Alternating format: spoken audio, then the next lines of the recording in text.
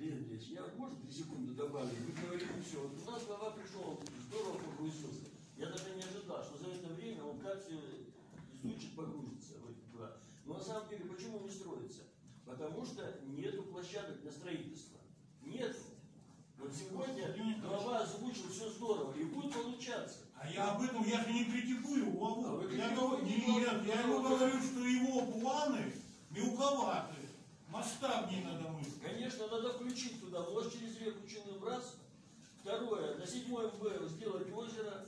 И у нас вообще-то город вот после озера у нас жизнь станет сказкой. Да вообще здорово, мы уже делаем. Владимир Николаевич, спасибо большое. Я просто... Владимир Николаевич, я прошу, если это со стороны выглядит как критика моя главы, Да, все подтвердят, что это так. это не так. Чтобы я сразу Я, я говорю товарищи, уважаемые ключи, во-первых, чтобы вы знали, я к критике отношусь нормально, мы и так только и в результате критики что-то